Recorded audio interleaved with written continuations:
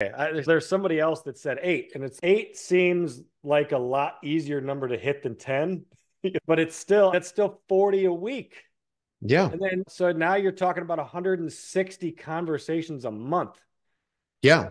If you have 160 conversations a month, there's no way you're not going to get in the middle of something because on those conversations, it always leads you in a different direction than you thought. They're like, ah, I'm not doing this, but I have this other one that I have a 20% vacancy because I'm always like, give me your dog first. If I don't know the person, give me your crappiest property, the one that makes you like pissed that you're in real estate to begin with.